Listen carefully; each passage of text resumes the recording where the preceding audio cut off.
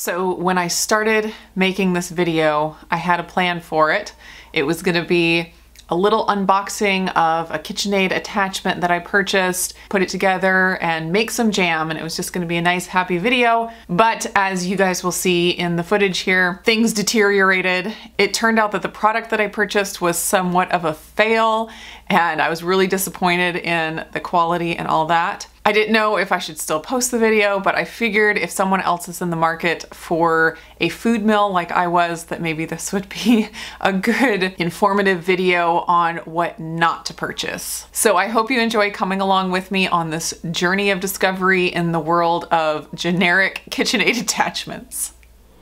So since we're gonna be doing a lot more food processing and preserving on our new property, we have a big apple tree and we have a garden and planning on having bigger gardens in the future, I thought I should invest in a food mill. Since I have a KitchenAid, I wanted to get an attachment that went on to that. And so I thought I'd just get the KitchenAid attachment. But in researching it, um, I found that you needed to have two pieces of equipment, the meat grinder and then the food mill goes onto that. And I had a food a meat grinder, and so I thought, great, I'll just add the food mill.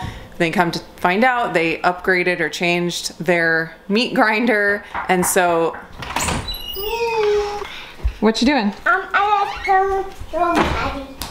Oh, okay. So the new food mill that they have doesn't attach to the old meat grinder, which is what I had, which means I would have had to buy the new meat grinder and the food mill, and it was way too expensive, more than I wanted to spend. So I opted to get a generic version.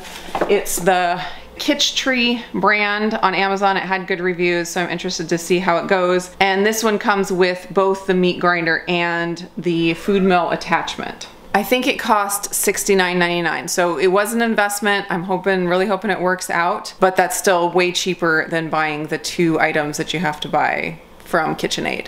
So let's do a quick unboxing of this and then I'm gonna see if I can get it assembled onto my KitchenAid and then I have a bunch of blackberries as well as a bunch of windfall apples that need to be used up. I'm thinking I might try to make some uh, blackberry jam and get it canned so that we can give it as gifts.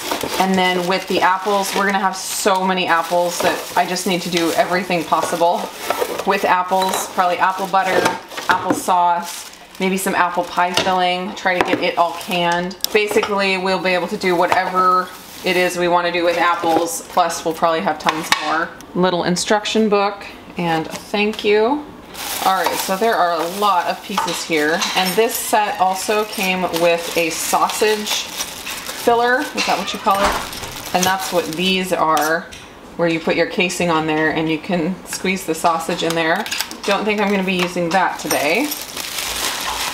That is the meat grinder. So here are all the pieces all laid out. I am going to wash them, or at least the ones that I'm going to be using.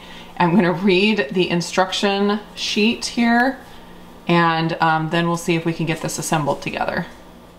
So up here in front are all the pieces that you need for the food mill. These are extra pieces for meat grinding and sausage making. So you insert this into here like that. Next you take the unicorn horn and let's call this the party hat. And those kind of fit together like this. And um, you can see in here, maybe you can see in here that there's a square in the back and so it fits onto this shaft. So you gotta get it put in the right way so it goes all the way in.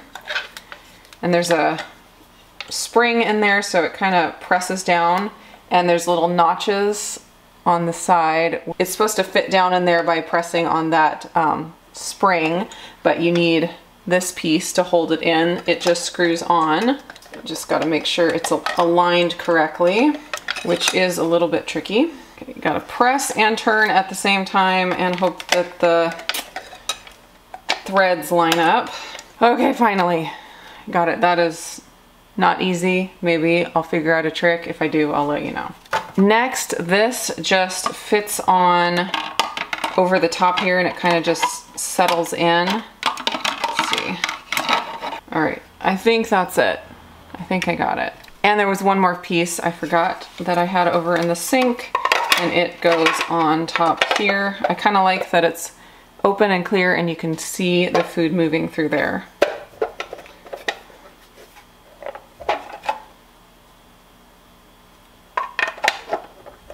Maybe I'm doing something wrong, but it doesn't really fit in there. It just kind of pops up.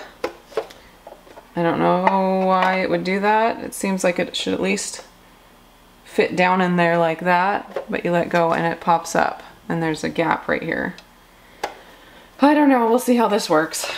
I definitely have to take away points from this for not being user friendly. So I'm trying to get this piece to fit on here and it fits, but this tube is supposed to stick out like half an inch.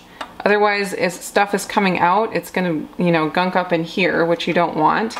And it seems like this needs to be twisted to go farther back on here, but it is like locked into place.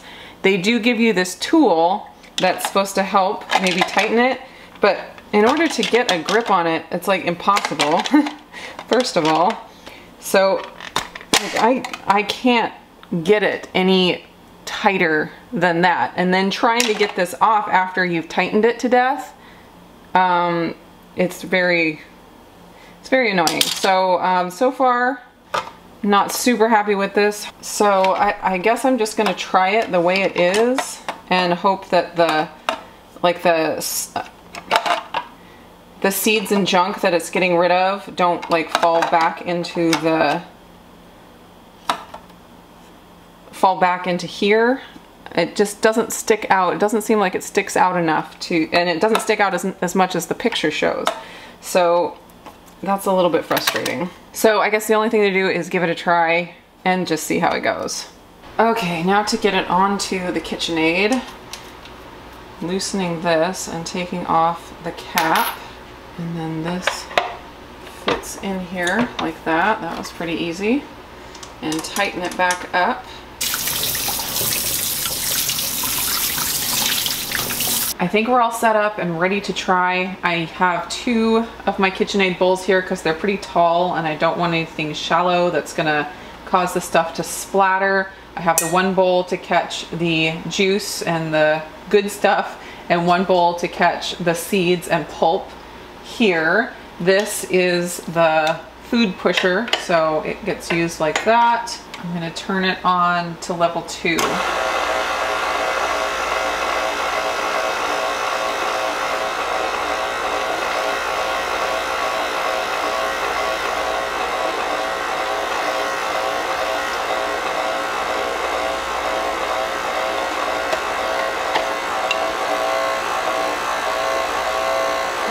seeing some drips.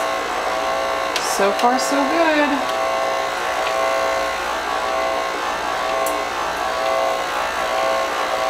Alright, so I'm just going to keep loading and pressing until I get through all of these blackberries.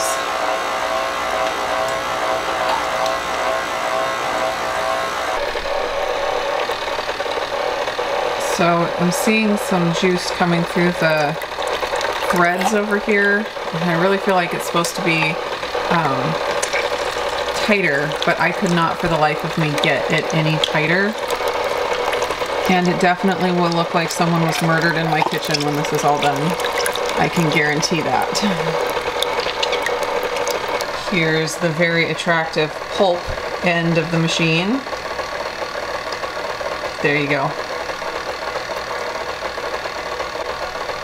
I'll have to show it to Levi because he'll probably think it's hilarious.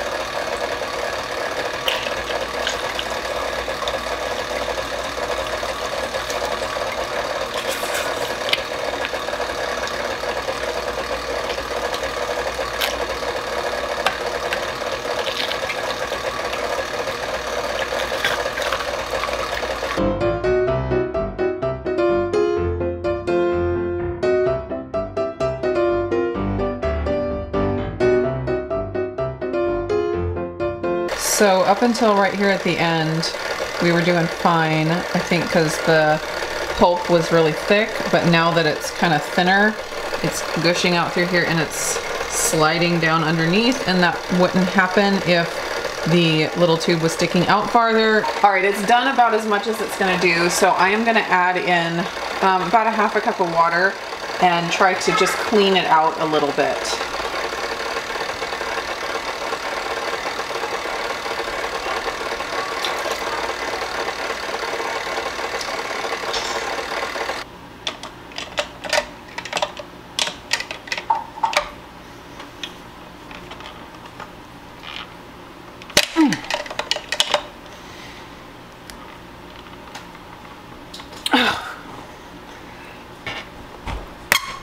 Oh my gosh.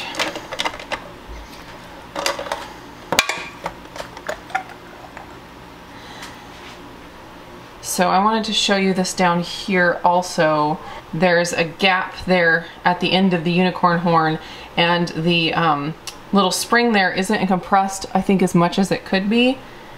And when I took it off to start cleaning it, there was um, juice that went back that direction. And I'm kind of thinking that's not what it's supposed to do. Okay, so the saga continues.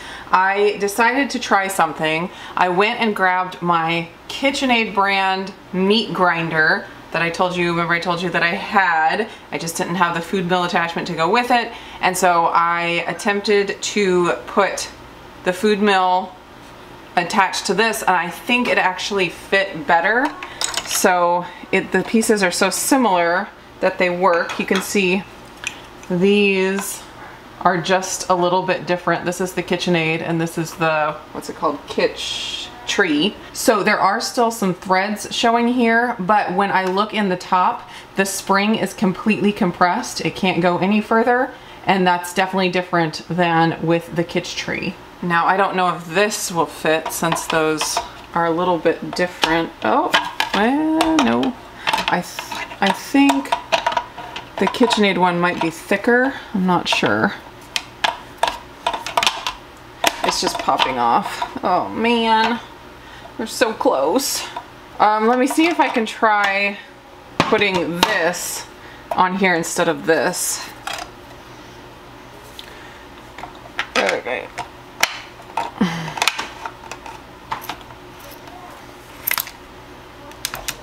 Okay, let me look inside. Okay, the spring is completely compressed now. So maybe with this grinder attachment, the KitchenAid one, this will work. So like you saw, I found a way to make this food mill function with my KitchenAid and it's only because I happen to have that old version of meat grinder and I went back and forth about just returning the whole thing. I mean, I, I went back and looked at my Amazon and there was a $5 coupon so it cost me 65 either $64.99 or $65.99 I think $64.99.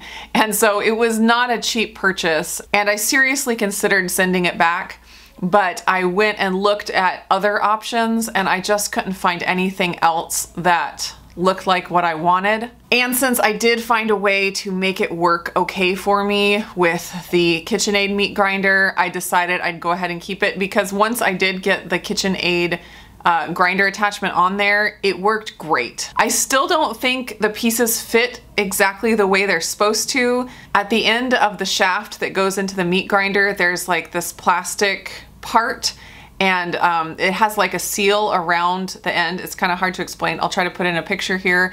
And I think it's supposed to go in all the way so that the um, like the bigger round plastic part is flush against the end of the um, meat grinder, but it doesn't fit quite right. The end of the plastic part is just too thick and so it like shoves in there, but it shoves in so tight that juice can't go back the other direction like it could with the Kitch tree one. And besides that little part that doesn't seem like it fits exactly correctly, it still functioned beautifully and actually works really well. I've made several batches of applesauce and apple butter with the attachments rigged up the way I have them and it works really great. So as long as it continues to function and doesn't break super quickly, I think I'm gonna be happy with the purchase overall. But of course, I cannot recommend this brand or this product to anyone because the only reason it happened to work out for me is because I already had another piece that I could add to it. So I would love to hear from you who have used food mills before. If you have a favorite, it doesn't have to be a KitchenAid attachment,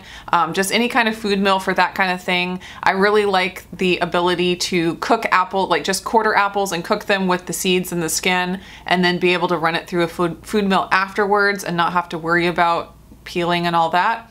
Uh, so if you have a recommendation of a food mill that you like or a KitchenAid attachment, or if you have used the name brand KitchenAid attachment um, and have some insight about that. If it's worth, I think it would have cost me $120 to buy the KitchenAid meat grinder that was the correct updated version plus the food mill that was the updated version and um, that was just more than I wanted to spend. But maybe you have those things and they're just incredible and they're worth the money. A lot of times name brand stuff is expensive because it is the best. Not always, but a lot of times. And I definitely am not afraid of investing in something that's actually really good quality. So any insight you have on those things, feel free to leave down in the comments. I would love to read them. I hope you guys are all doing great and I will see you again in another video.